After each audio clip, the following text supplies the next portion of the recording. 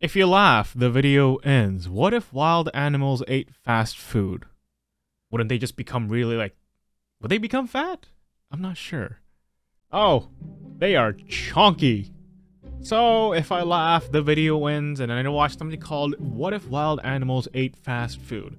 Uh, honestly, if they did, I feel like they'd be fine because animals are a lot more active than human beings, at least, right? Because they have to like constantly run. Well, let's, you know, take out the realism here and let's just hop right into this video and make sure not to laugh. So, what have you got for me? Oh, chunky flamingos. They look round and a chunky gator. They would go stink real fast. Uh-oh. No. No, the alligator. Oh, it's gonna drown. Oh, it's dead. And it's dead. Oh, oh wait, it's alive. It's alive. Okay. Now a chunky cheetah. Somehow on the tree.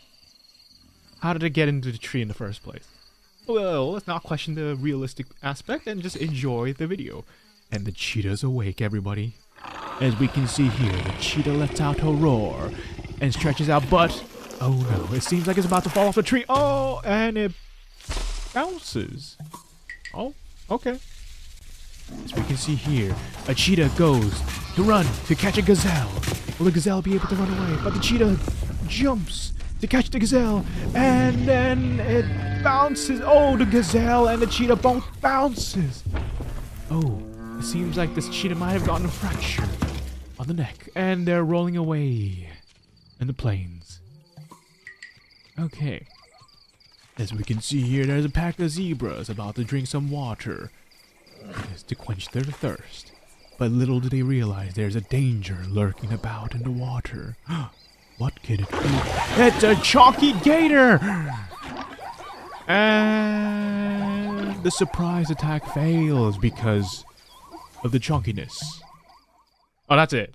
I gotta say, I love the animation. It's it was funny, but it's not like you know the like ha ha ha out loud funny, but it was like a little chuckle inside, like inwardly fuzzy, warm, like funny feeling. So I honestly like this animation. Thank you for introducing me to it. Okay, uh, give me more of these type of stuff. I love these videos. Okay, bye.